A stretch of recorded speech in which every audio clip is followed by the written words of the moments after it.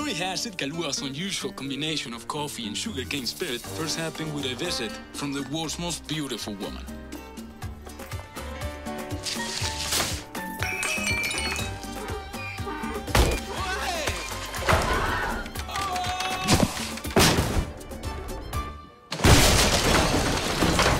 Some call this combination a coincidence, but we call it ¡Delicioso!